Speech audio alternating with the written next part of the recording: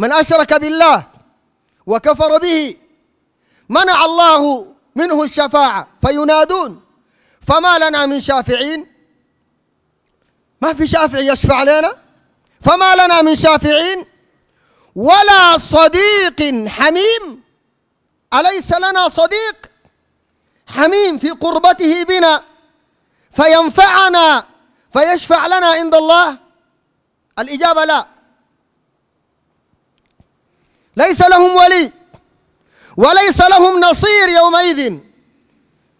كما قال الله سبحانه وتعالى ولا تجد لك علينا به نصيرا ولا تجد لك به علينا تبيعا. ما في حد ينصرك يومئذ إذا أشركت بالله سبحانه وتعالى وكفرت به. قال إن الله لعن الكافرين وأعد لهم سعيرا خالدين فيه أبدا لا يجدون وليا.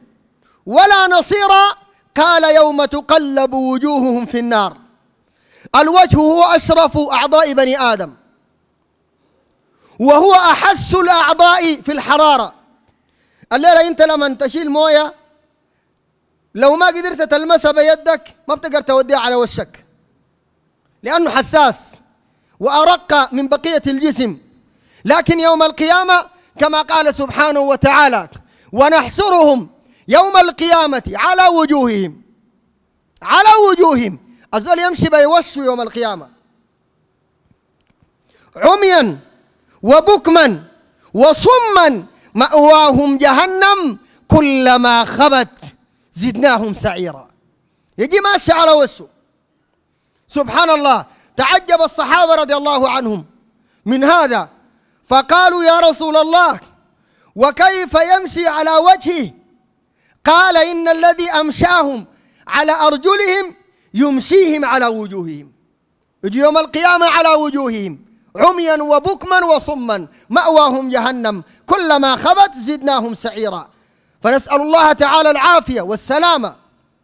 فأولئك ليس لهم ولي ولا شفيع ولا حميم. يوم تقلب وجوههم في النار. فيتحسروا ويندموا. يقول يا ليتنا أطعنا الله. أي عملنا بما جاء في القرآن. وأطعنا الرسول. أي عملنا بما جاء في السنة. يا ليتنا أطعنا الله وأطعنا الرسول. ويبقى السؤال المهم أيها المسلمون الكرام. لماذا لم يطيعوا الله والرسول؟ الإجابة في نفس الآية. قالوا ربنا إنا أطعنا سادتنا. وكبراءنا. أطاعوا زعماء وأطاعوا رؤساء وكبراء. ماذا حصل؟ قالوا فأضلون السبيل. أضاعوا عنا الطريق. لأنك بالفهم البسيط لما تكلم إنسان بحديث النبي صلى الله عليه وسلم فيرفض الحديث ويتبع كلام الزعيم. يقول لك نحن قمنا لقينا الحاجة دي بيعملوا بها أهلنا. هذا هو المنطق. وإذا قيل لهم اتبعوا ما أنزل الله قالوا حسبنا ما وجدنا عليه آباءنا. أولو كان آباؤهم لا يعلمون شيئا ولا يهتدون؟ قالوا بس بنتبع أبواتنا. وحتى اليوم اللي علينا كثير من الناس رفضوا القرآن ورفضوا السنة وتمسكوا بما وجدوا عند آبائهم من التقاليد ومن الأعراف وما وجدوا عندهم من المعتقدات فأضلوهم السبيل. حرفوهم عن الصراط المستقيم بقصائد وبمدايح وبخرافات وبمعتقدات باطلة جعلوا كثير من الناس يتركوا دعاء ربنا ويدعو الشيوخ من دون الله. ويترك التوكل على الله ويتوكلوا على أوراق وأحجبة يربطوها ويعلقوها. ويتوكلوا على أسحار وشعوذات.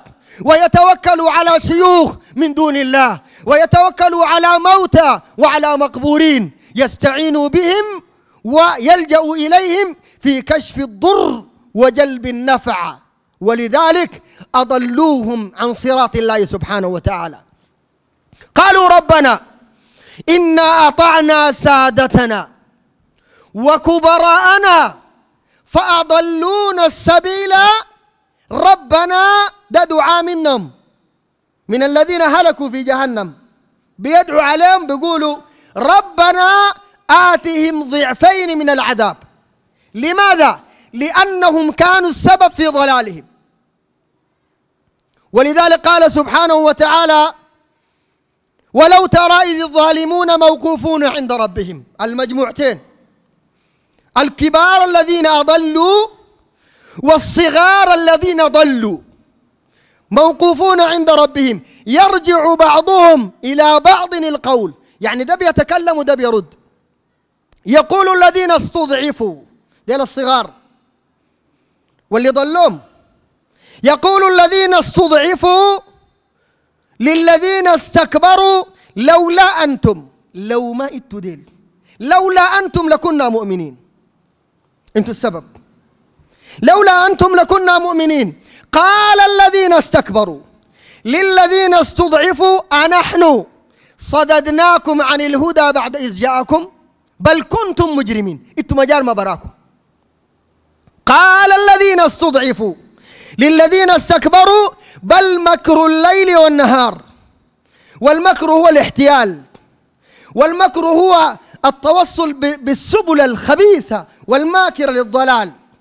تزيين الضلال وترويج القصائد وإضلال الناس بالكلام المعسول والجميل عشان يوقعك في النهاية في عبادة غير الله. قالوا بل مكر الليل والنهار إذ تأمروننا أن نكفر بالله. ونجعل له أندادا وأسروا الندامة لما رأوا العذاب وجعلنا الأغلال الأغلال الحديد في أعناق الذين كفروا هل تجزون إلا ما كنتم تعملون؟ عشان كذا لما تأكدوا يوم القيامة إنه اللي كان بيدافعوا عنهم في الدنيا وبيحبوهم هم السبب في هلاكهم قالوا ربنا آتهم ضعفين من العذاب. أديهم عذاب دبل. ضعفين من العذاب والعنهم لعنا كبيرا. قال لا زيدهم في العذاب يا ربنا والعنهم لعنا كبير غير اللعنة اللي لعنت لهم. وجاء في آية أخرى في سورة الأعراف ربنا قال لكل ضعف ولكن لا تعلمون. ديل عندهم عذاب وديلاق عندهم عذاب.